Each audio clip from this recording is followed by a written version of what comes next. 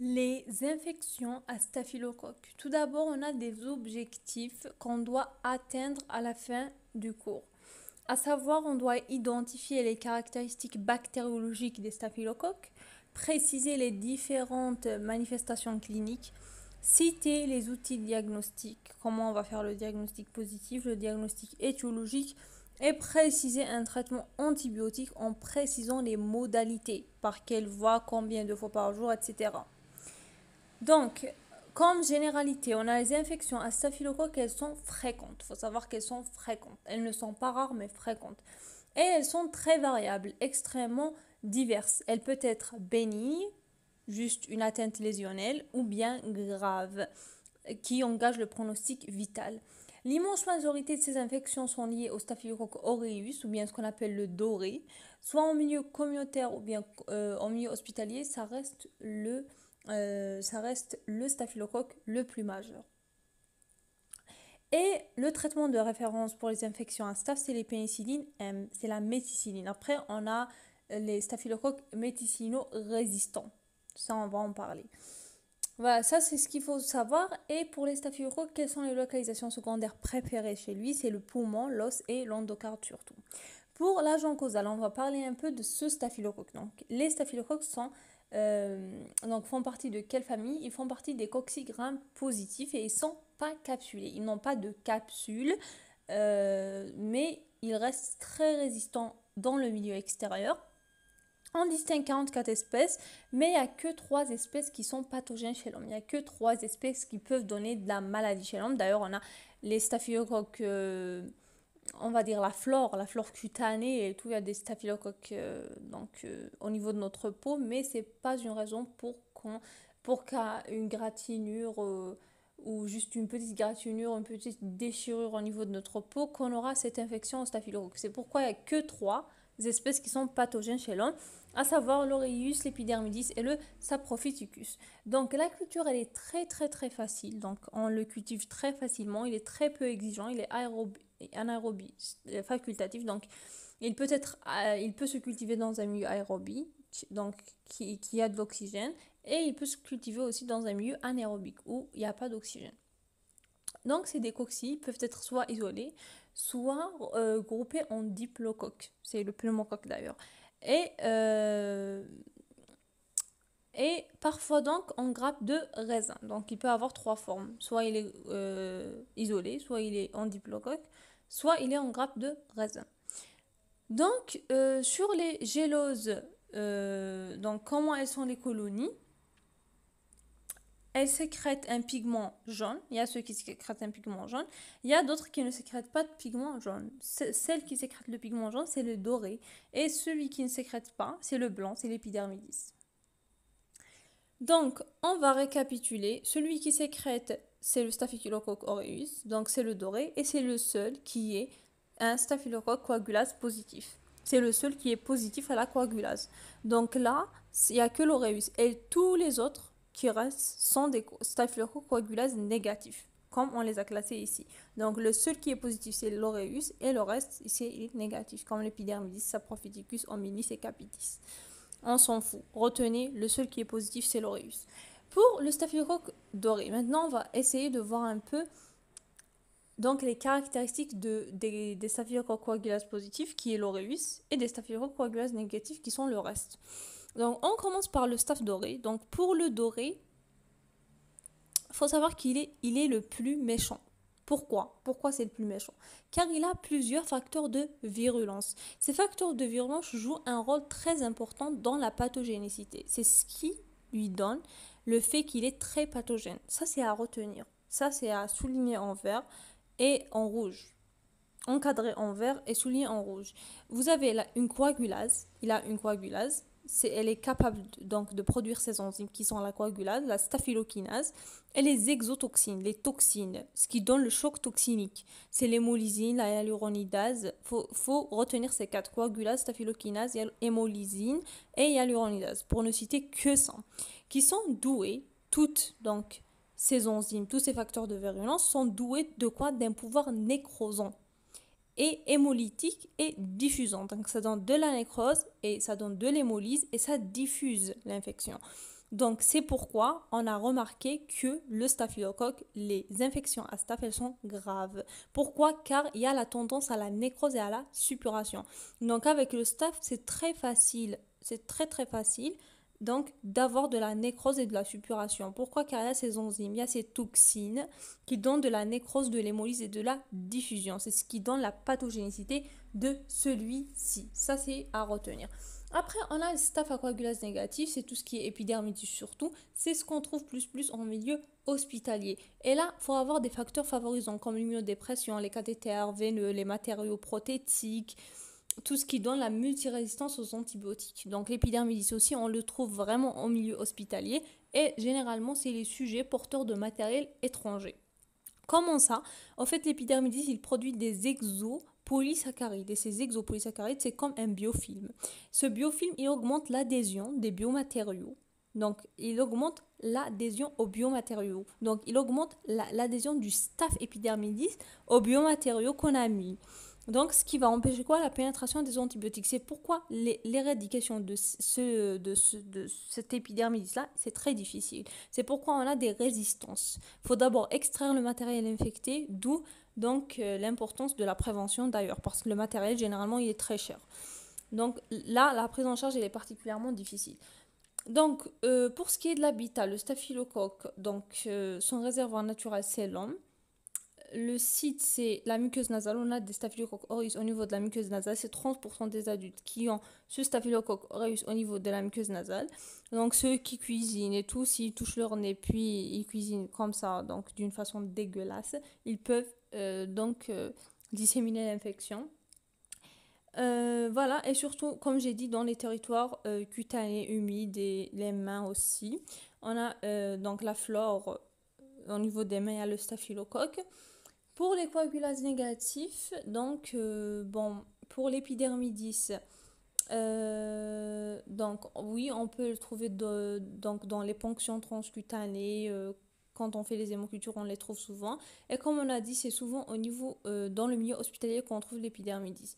Donc en communautaire, on ne le retrouve pas. Pour la transmission, elle est intra- et interhumaine. Donc voilà, il y a soit par contact direct, manuportage, c'est à travers les mains, ou bien indirectement, c'est-à-dire l'environnement, quand on touche les vêtements, les draps, les matériels et euh, les matériels médicaux d'une personne qui est infectée.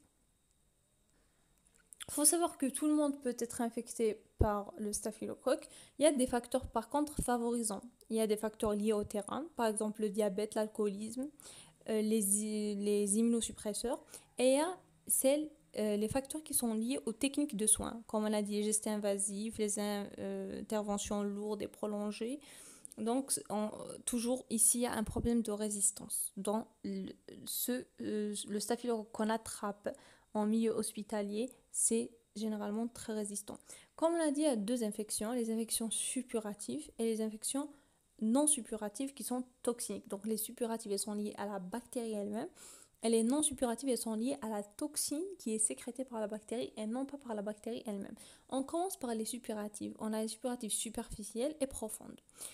Donc, pour ce qui est de la physiopathologie, qu'est-ce qu'il faut savoir? C'est que ces infections, donc d'abord, il faut qu'il y ait une prolifération de la bactérie, il faut qu'il y ait une invasion, il faut qu'il y ait la destruction du tissu de l'hôte et la réponse inflammatoire locale et systémique. Ça, c'est ce que j'ai dit ici.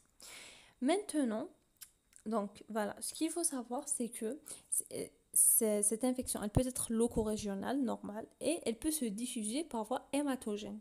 Donc là, elle va nous donner, comme on a déjà vu dans le cours précédent, donc il peut donner toutes sortes de localisations qui peuvent survenir à ce moment-là.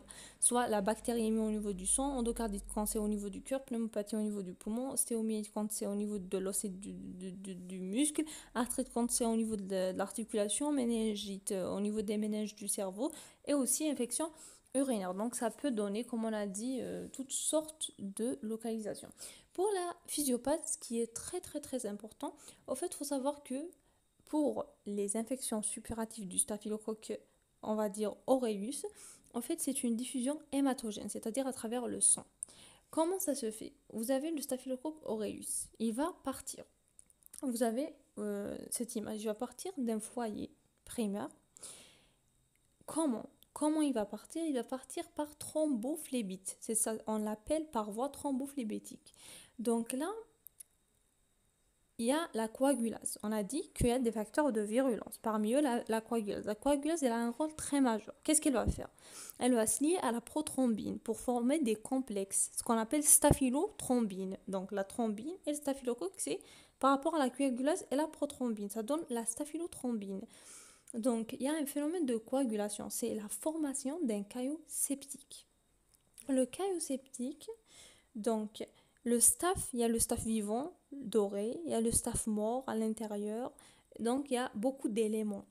Il y a beaucoup d'éléments. Il y a les éléments immunitaires, inflammatoires. Donc il y a beaucoup d'éléments dans ce, euh, dans ce caillou qui va être formé. Puis ce complexe, donc qu'est-ce qu'il y aura? Il y aura la, la polymérisation du fibrinogène. C'est-à-dire quoi? C'est-à-dire le fibrinogène va se transformer en fibrine. Ce qui va aboutir à quoi? À la formation, comme on a dit, d'un thrombus. Pourquoi on l'appelle thrombus? Car il s'est formé à l'intérieur d'une veine. Puis, il y aura, on a dit aussi que parmi les facteurs de virulence, il y a la coagulase, mais aussi la staphylokinase. La staphylokinase, elle va venir, elle va faire quoi? Elle va faire le rôle inverse à celui de la coagulase. Elle va donc faire la dislocation du thrombus. Elle va le, on va dire, le disjecter en morceaux. Donc, toutes les bactéries, il est très riche de bactéries, donc ils vont migrer. Donc d'un thrombus, il va donner des microthrombis qui vont migrer et donner des localisations secondaires septiques. Donc c'est par quel mécanisme? C'est par mécanisme d'embol septique bactériémique. C'est ce qui donne les localisations secondaires. C'est très important de euh, reconnaître et de comprendre le mécanisme thrombophlébitique. D'ailleurs, ce n'est pas que le staff qui donne ce mécanisme-là, on va voir par la suite. Pour les infections non suppuratives d'origine toxinique, donc là, ce ne sont pas des infections liées à la bactérie elle-même, mais plutôt à des infections en rapport avec la toxine que va libérer la bactérie. Voilà, donc elle est due à la diffusion de toxines. Donc la bactérie donc, reste dans les foyers infectieux initiaux, dans les foyers donc primaires. Et puis, il y a les exfoliatines, toxines du choc toxique, syndrome TSS1. Ça, c'est les, trucs que donne la toxine. On va les voir. Donc, ça, c'est la toxine qui est produite par cette bactérie-là qui va aller vers des foyers secondaires. Par opposition, là c'est juste une remarque que les intoxications alimentaires elles sont dues à l'ingestion d'une toxine préformée. C'est pas qu'elle se forme, c'est pas la bactérie qui la donne à l'intérieur de l'organisme in vivo, mais dans les intoxications alimentaires, la toxine est déjà préformée dans l'aliment contaminé qu'on va manger. Ça c'est juste une remarque. Donc, pour ce qui est de la clinique, il faut, faut, savoir que c'est très très varié. Il y a un grand polymorphisme clinique. Donc on commence par les infections suppuratives. Donc dans les infections suppuratives, on a déjà les staphylococci cutanées. Donc dans les cutanées, il faut savoir que euh, pourquoi?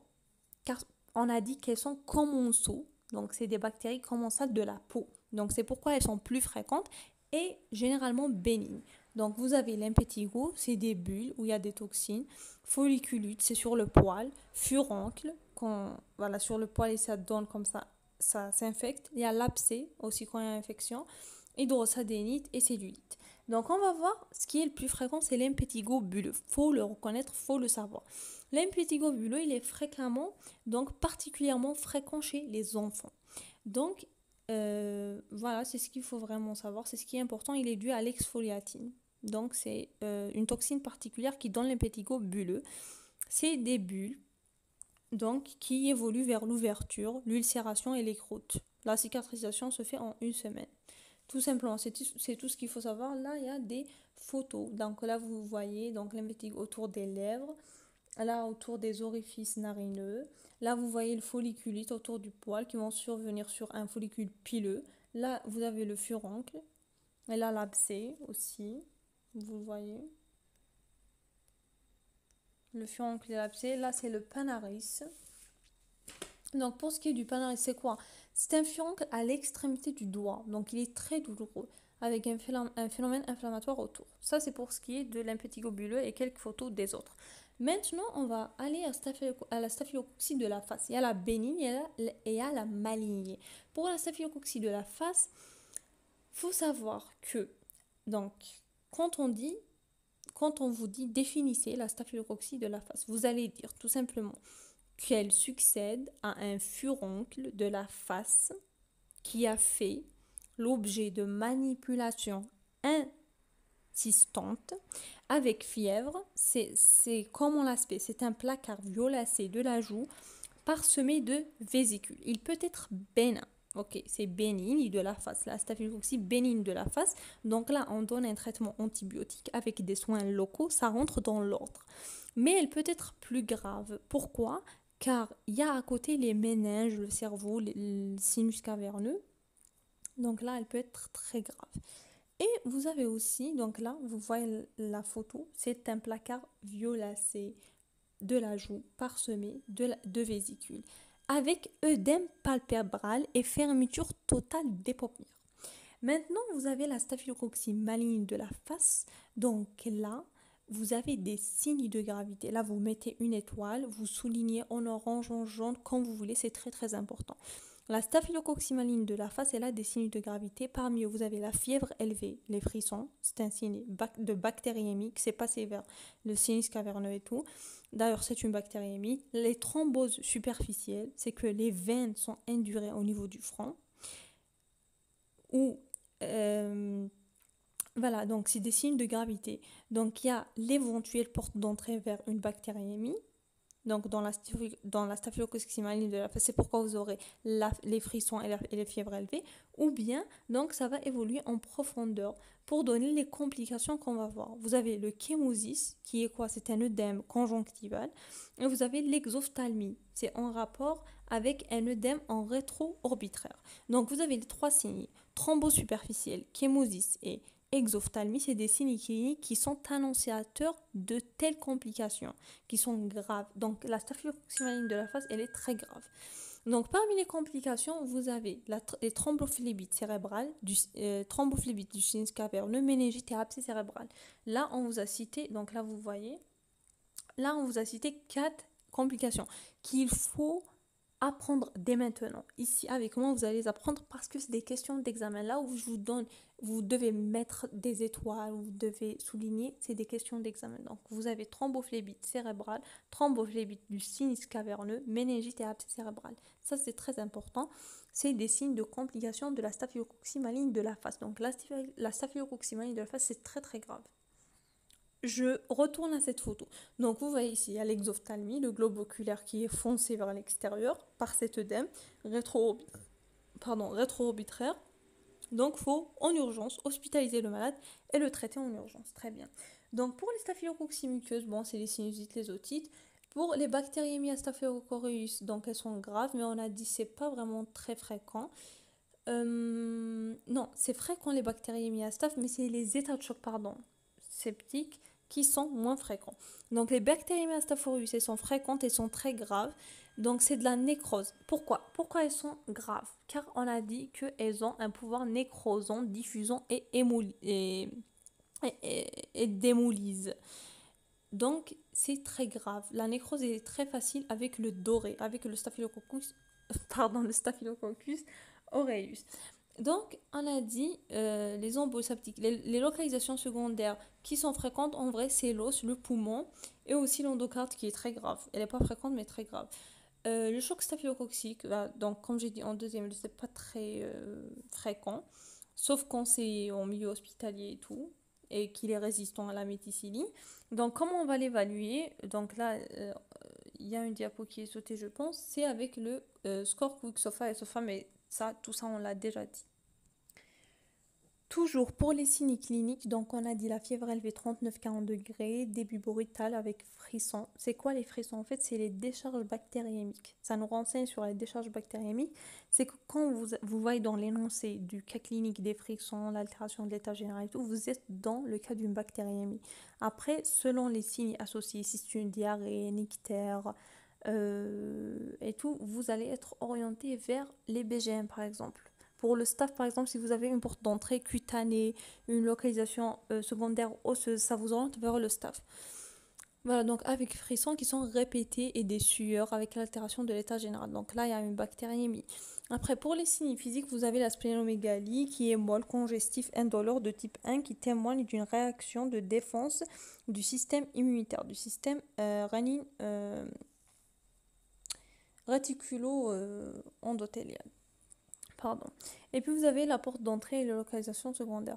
Donc, il faut savoir que quand on a une bactériémie, un syndrome septicémique, c'est-à-dire, il est commun à toutes les infections, à toutes les bactéries. Seulement, il va y avoir des éléments cliniques qui vont vous orienter vers certaines bactéries. Par exemple, pour le staph, ce qui va vous orienter, donc devant quel signe que je vais évoquer moi le staphylococcus. Déjà la porte d'entrée, quand elle est cutanée ou osseuse, comme j'ai dit. Donc, c'est les localisations préférées du staph, c'est la peau et l'os. Et vous avez les localisations secondaires.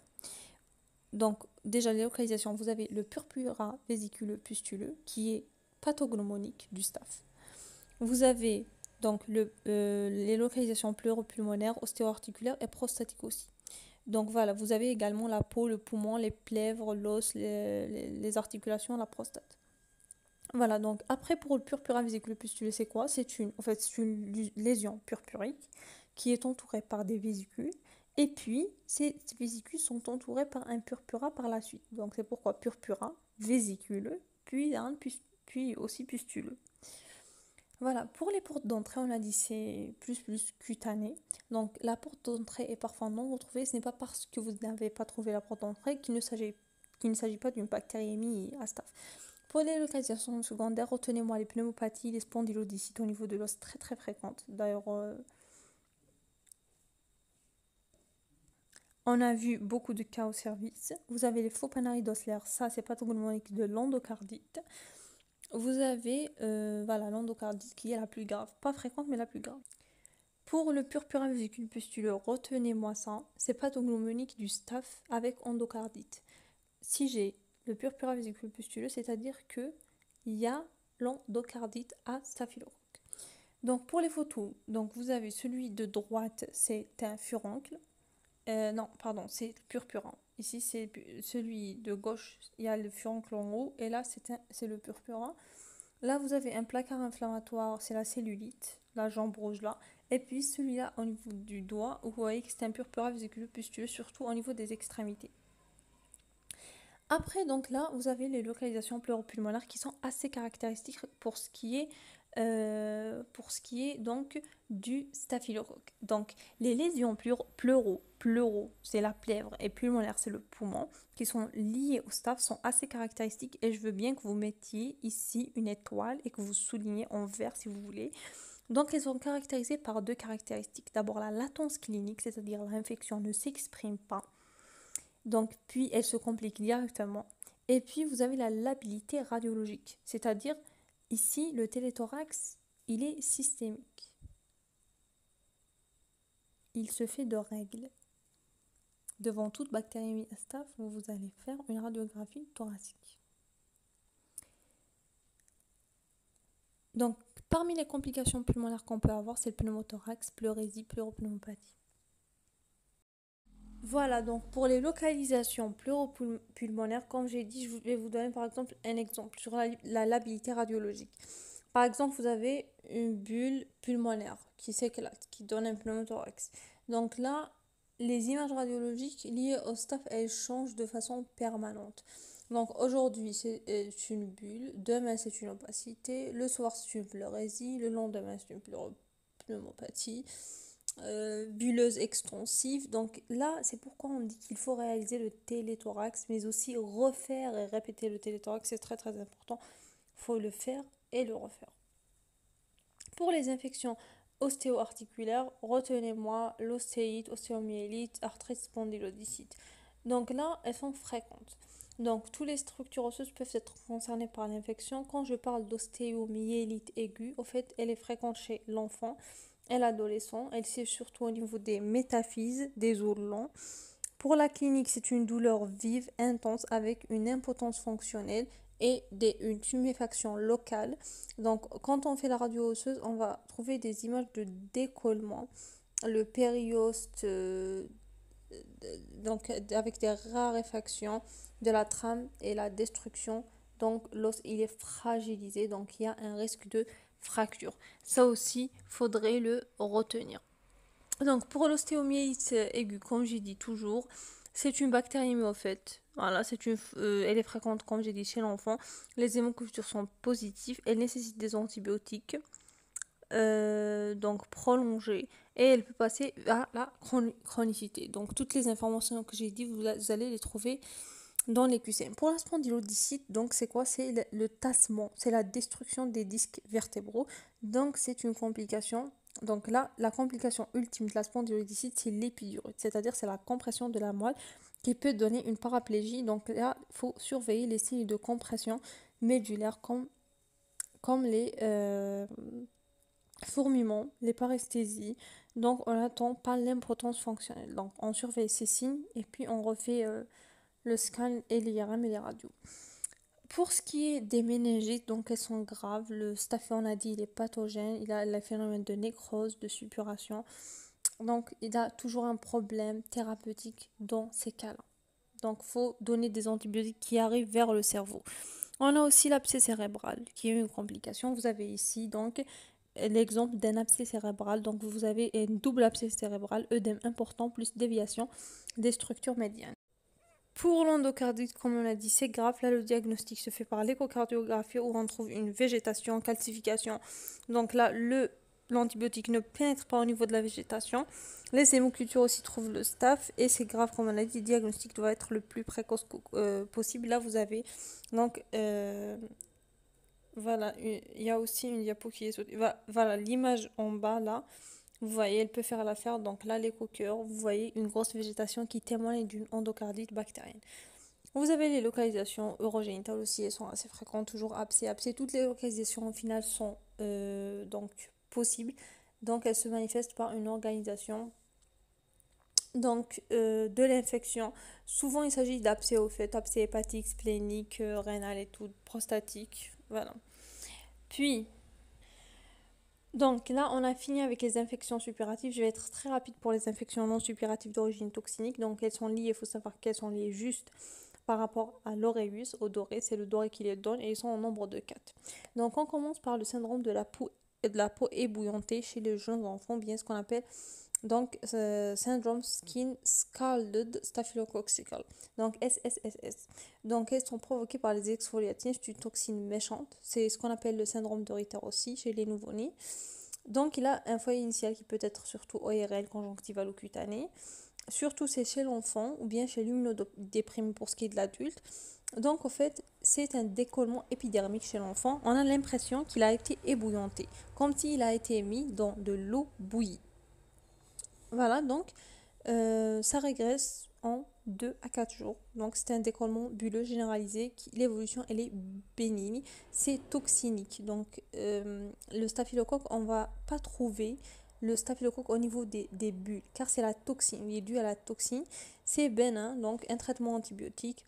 Donc euh, le plus précocement possible. Donc il peut régler l'affaire. Donc vous avez ici une image, le décollement, vous avez l'impression que c'est euh, c'est comme des brûlures. Pour le choc toxique staphylococcique lié au TSST1, donc là vous avez les signes d'une fièvre supérieure à 39, une hypotension, euh, bon l'érythrodermie c'est une rougeur.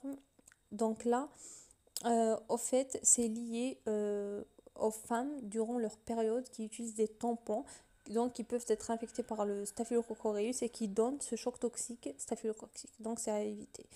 Et puis on a l'intoxication alimentaire. L'intoxication alimentaire aussi, elles sont possibles. Donc par l'ingestion d'entérotoxines, surtout dans les produits laitiers la viande. Donc l'incubation et les courses, vous aurez comme des signes de, de crampes abdominales, de douleurs abdominales, de diarrhée, de vomissement.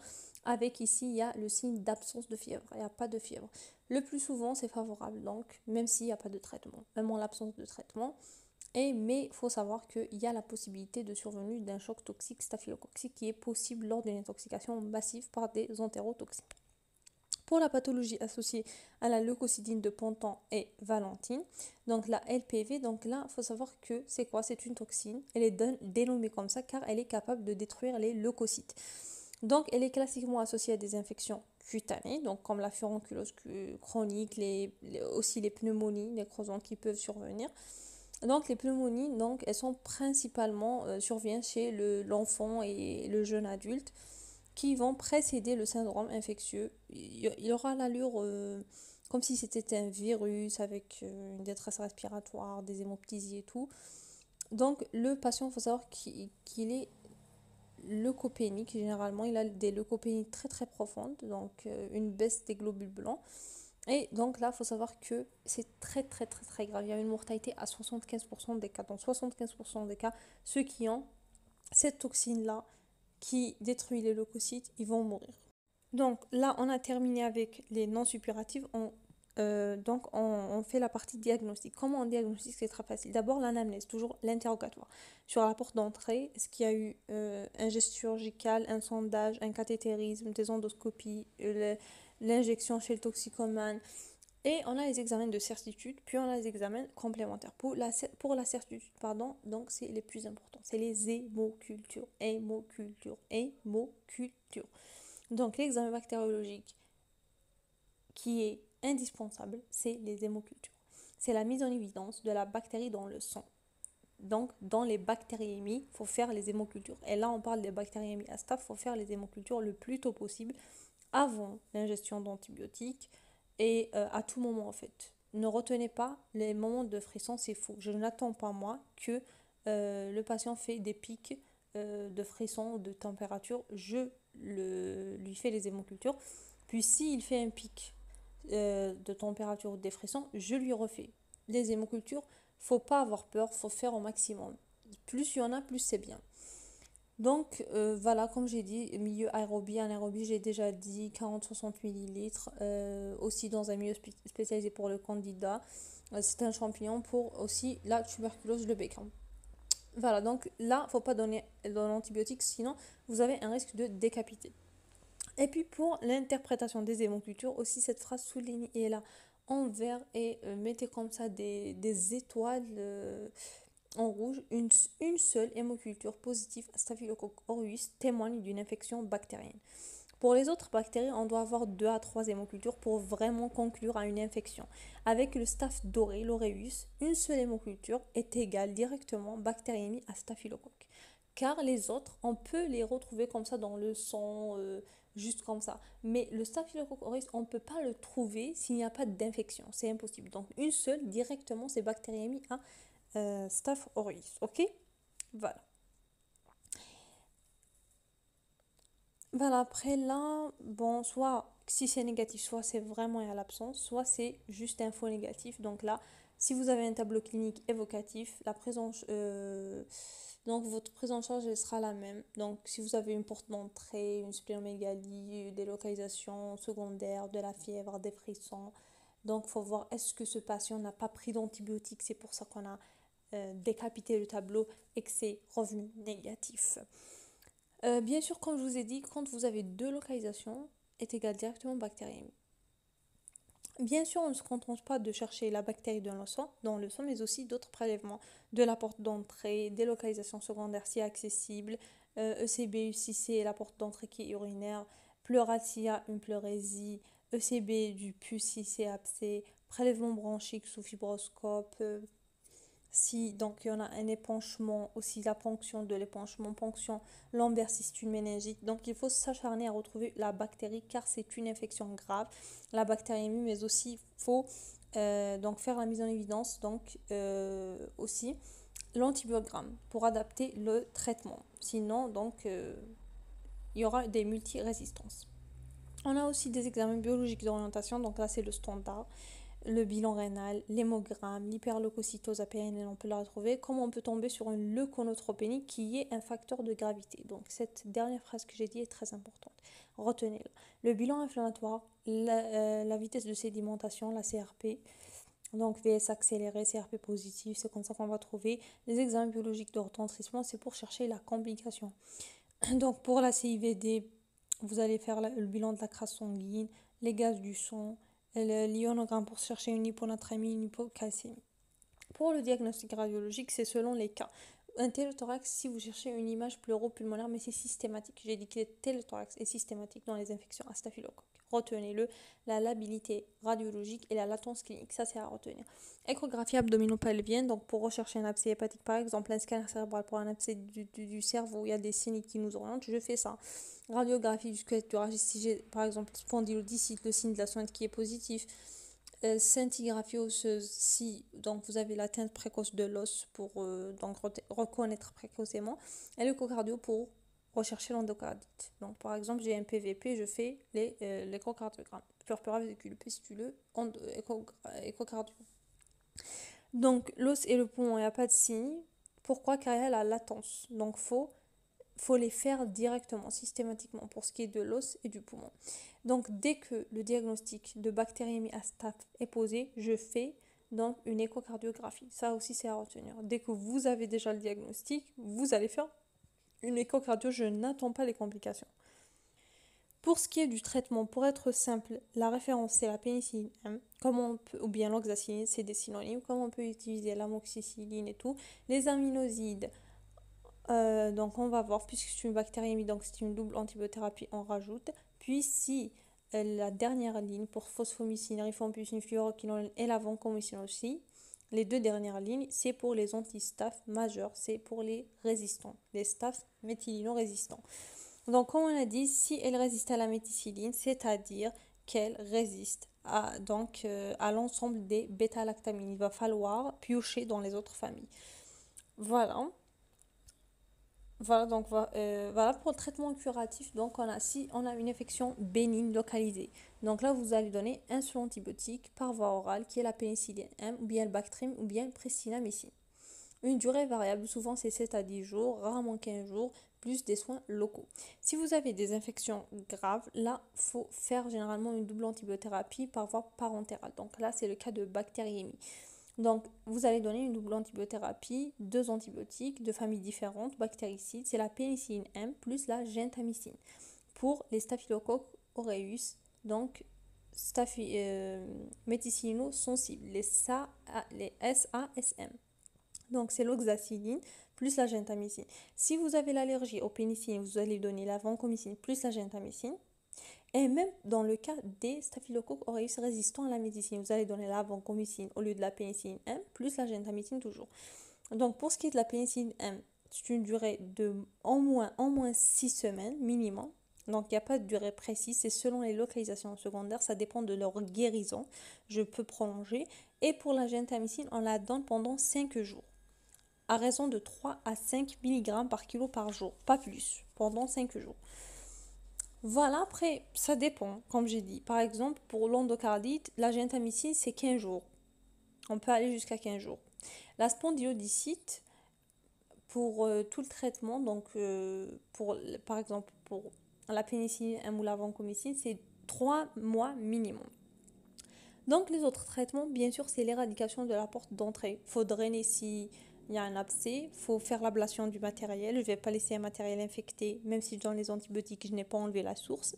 Euh, comme j'ai dit, c'est jusqu'à 3 mois. Et staphylococcus maligne de la face se traite exactement comme une bactériémie. Comme je vous ai dit, je la considère comme une bactériémie.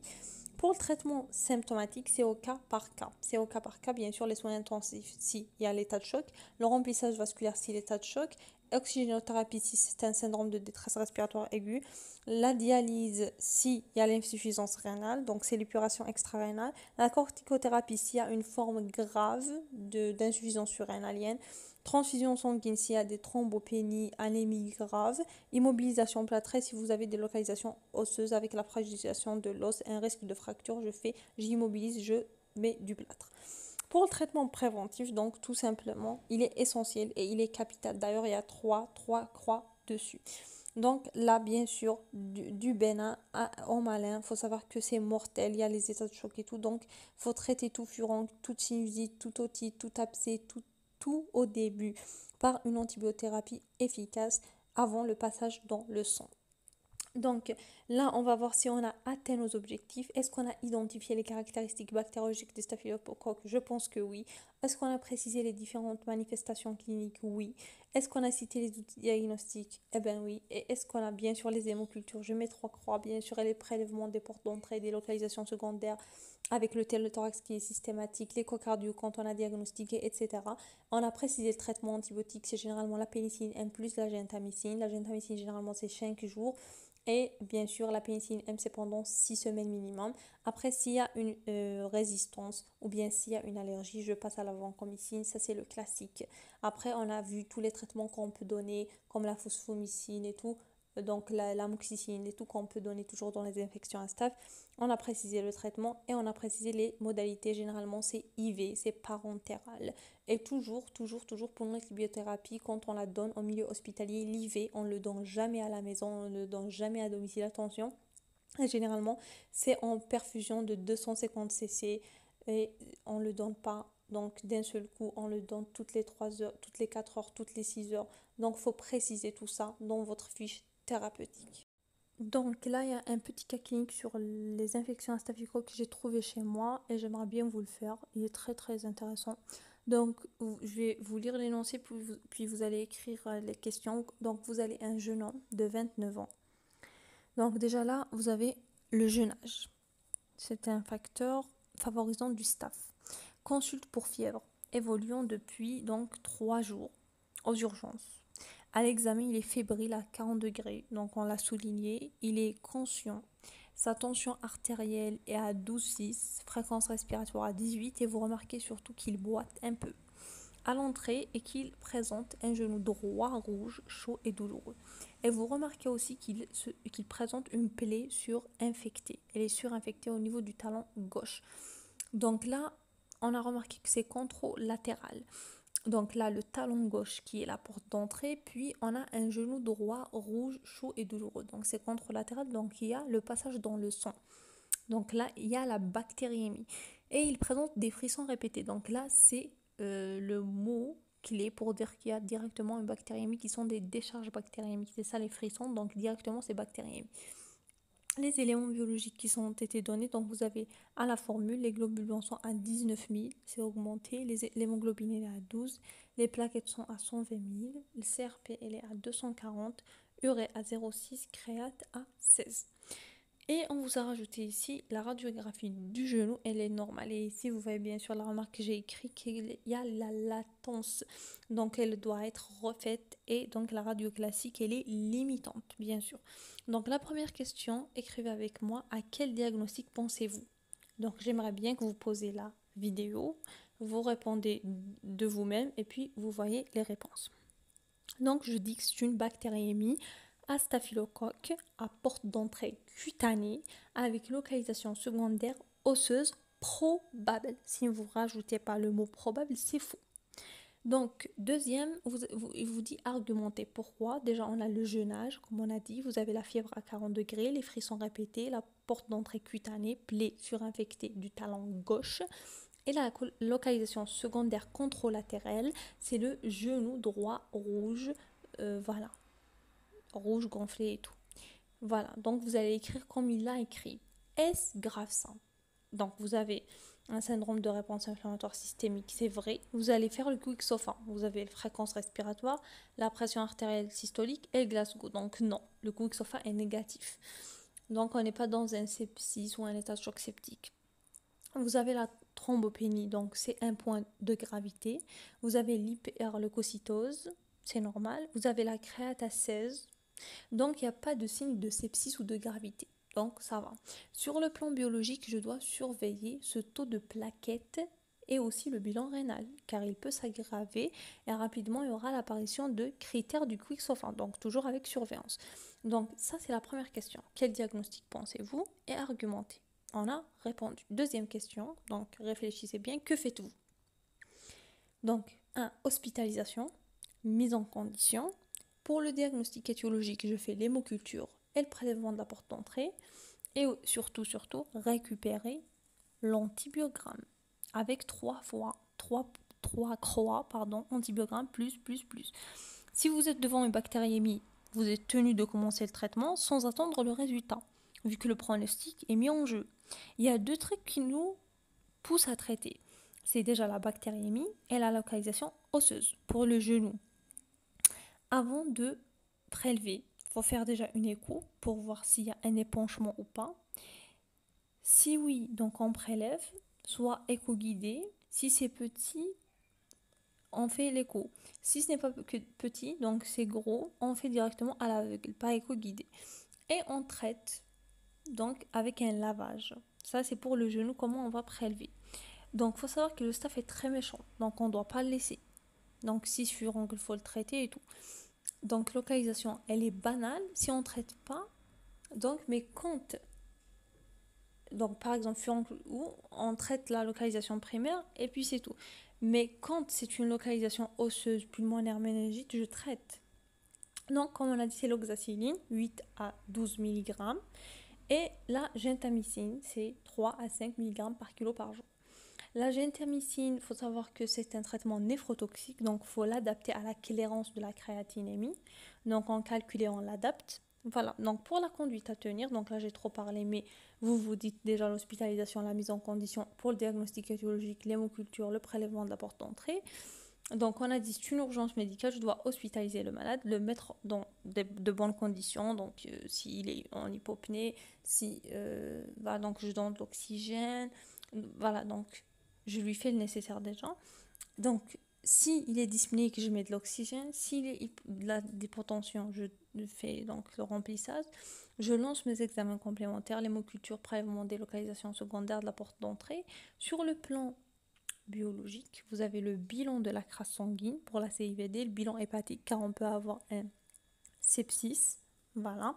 Et donc, si vous avez un sepsis, il y a une atteinte également hépatique. On peut également demander la lactatémie, c'est bien, si elle est disponible, le ionogramme sanguin. Bien sûr, l'hyponatrémie, l'hypokaliémie, on va rechercher ça. Sur le plan radiologique, je demande un téléthorax, radio du thorax. Le staff a une affinité pour les poumons, comme on a dit. Donc, euh, échographie abdominale n'est pas systématique. Hein. Il n'y a rien qui signale. Euh, voilà. S'il y a une autre localisation, ça s'exprime. Par exemple, abcès cérébral, c'est les céphalées. Douleur lombaire, c'est l'abcès rénal. Donc, juste l'os et le poumon qui ne s'expriment pas. Voilà, une localisation pulmonaire, on a dit que ça peut s'exprimer, mais c'est rare. Mais ça peut également, surtout, ne pas s'exprimer. Donc le téléthorax, il est systématique. 3 croix. Donc l'écho, c'est pour dire s'il y a une arthrite ou pas. Donc la scintigraphie osseuse, l'IRM osseuse, selon les moyens. Et puis la mise en route du traitement.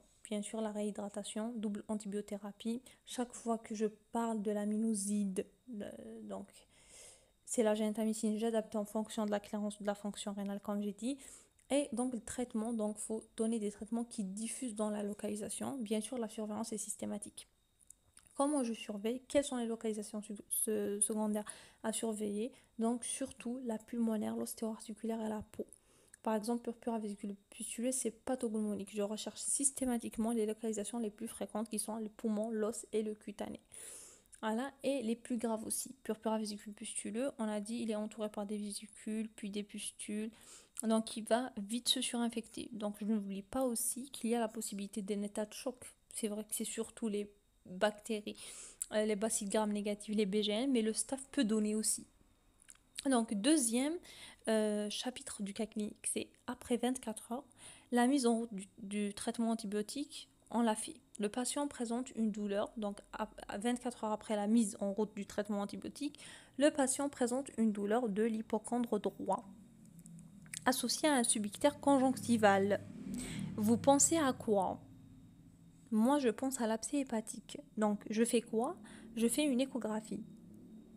Est-ce que vous changez de traitement? Non. Donc là, c'est l'astuce qui va venir avec le cas clinique. Donc parfois, le traitement antibiotique seul peut donner. Donc, ça dépend de la taille. Ça dépend de la taille. Donc parfois, si on donne l'antibiotique, il peut donner avec l'abcès hépatique. Mais ça dépend de la taille. Est-ce que vous changez de traitement? Non. Pourquoi Parfois, le traitement antibiotique seul suffit. Donc il peut donner. Ça dépend de la taille de l'abcès. Mais on confie donc le patient au chirurgien. Parfois pour drainer l'abcès. Mais l'antibiotique, on ne le change pas. Le problème n'est pas dans l'antibiotique. Donc, quelle est l'idée à laquelle je veux revenir? Les localisations secondaires. L'apparition d'une nouvelle localisation secondaire peut se voir même sous traitement correct. Le traitement antibiotique ne doit pas être modifié en l'absence d'antibiogramme. Je l'attends.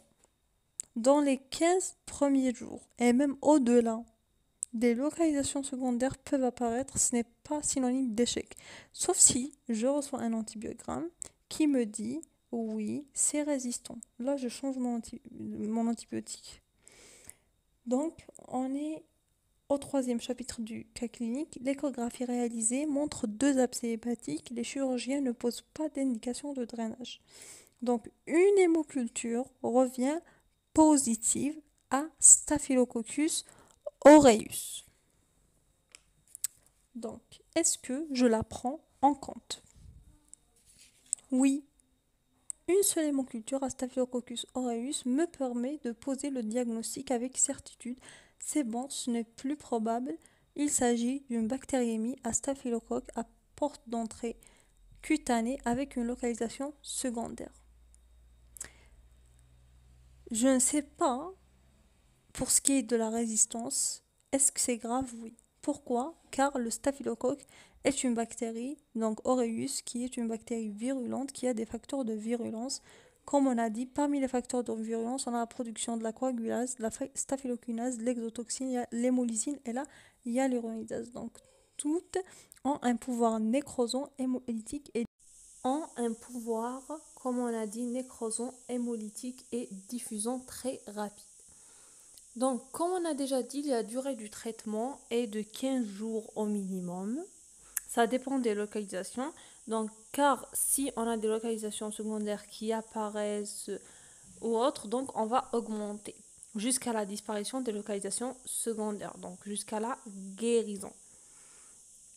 Ok, donc là, que faites-vous? Que faites-vous? Vous allez faire des soins locaux. Si abcès, on va drainer. La durée du traitement, la gentamicine en aratobu, on a dit de 10 à 15 jours, 10 jours. Donc, en général, c'est 5 à 7 jours pour la gentamicine, mais on peut aller jusqu'à 10 jours. Voilà, c'est une semaine pour la gentamicine, sauf pour l'endocardite qui est un cas exceptionnel où on donne la gentamicine pendant deux semaines. Donc ça, c'est juste des astuces. Donc on a dit, il faut répéter le téléthorax, faut surveiller la fonction rénale, faire l'écho-cœur, donc le plus grave, c'est quoi? C'est la méningite et l'endocardite. Donc dès qu'on diagnostique, c'est confirmé. On va faire quoi? On va refaire le téléthorax et on va faire une écho euh, une écho-cœur, une échocardiographie. Surtout, c'est systématique aussi dès que le diagnostic est confirmé.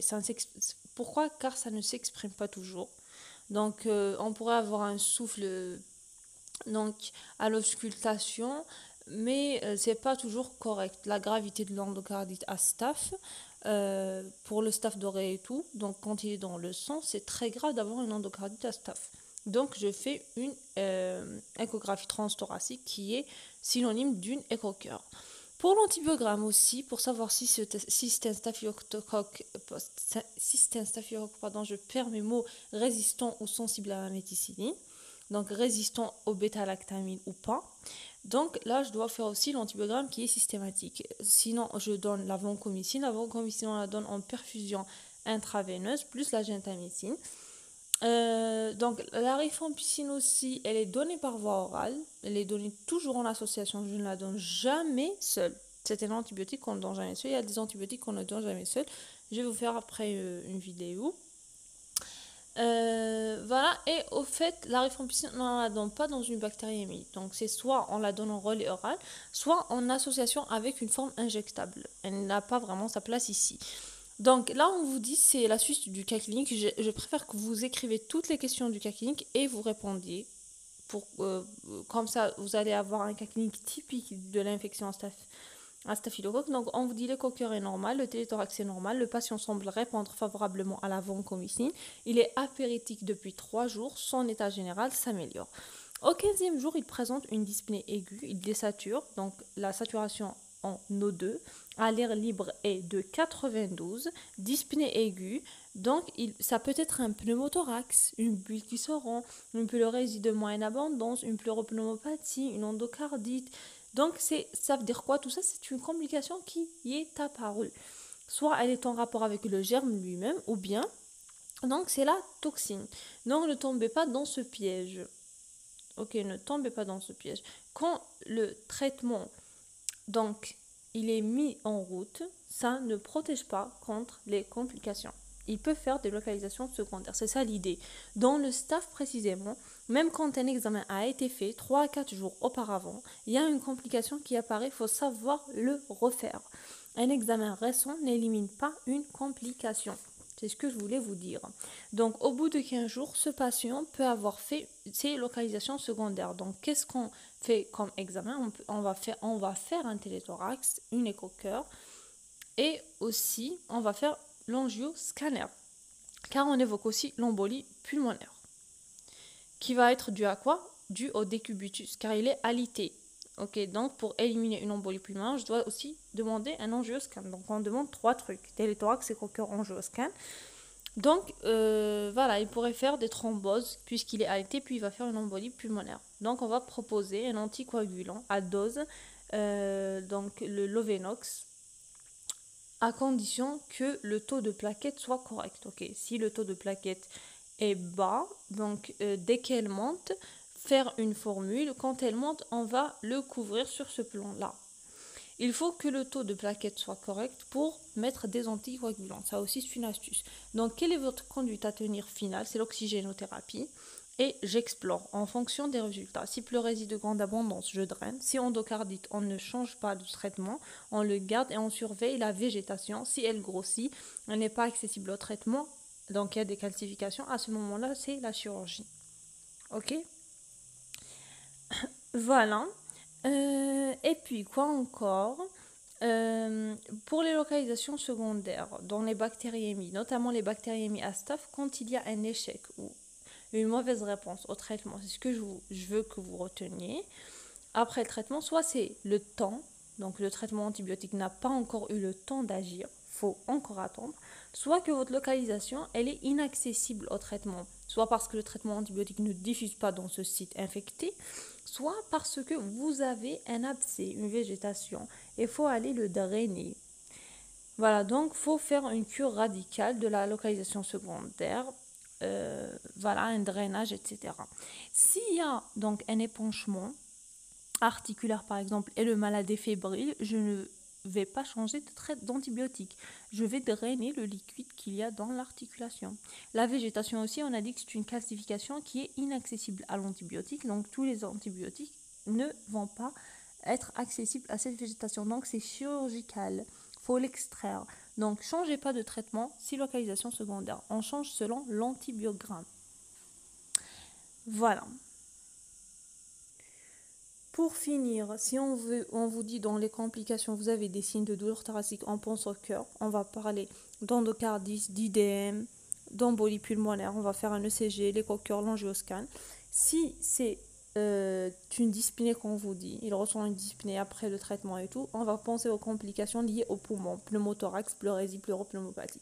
Voilà, j'espère que c'était bénéfique pour vous et je vous remercie.